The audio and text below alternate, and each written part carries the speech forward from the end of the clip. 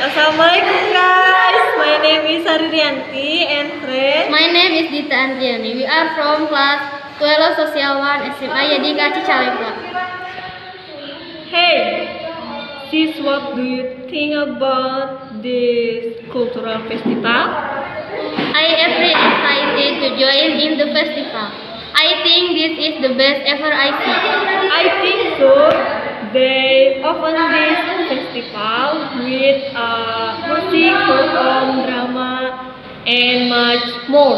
Yeah, you know, in the last day they will invite a famous band to perform. That's awesome.